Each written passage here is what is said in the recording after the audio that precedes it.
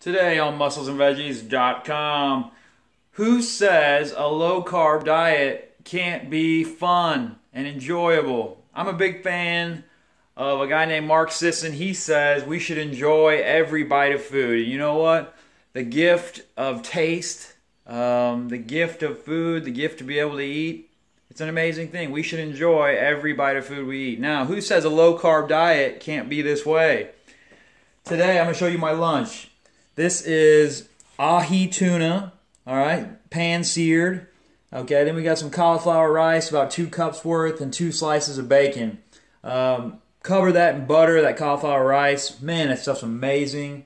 This is a savory little demo right here. Now, to finish it off, we got some fat bombs. These actually are made out of a Brazil nut, almond butter, coconut oil base topped with a chocolate mousse made out of coconut cream.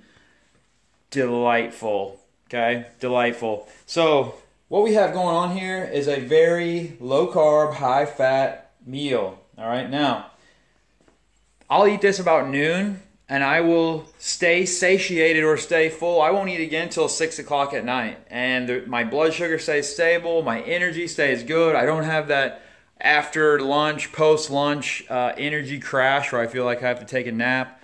So basically, here we have an excellent tasting meal that keeps us full all day. We don't need a snack, and it keeps our insulin levels even, and we feel great. We lose weight. I mean, there's just so many benefits to a low carb diet, and it tastes really, really good if you do it right. So I'm going to keep putting some more ideas on here um, so that you guys can see some of the stuff that makes a low carb diet taste so good. So stay tuned, musclesandveggies.com. Stay tuned to the Facebook page, more to come.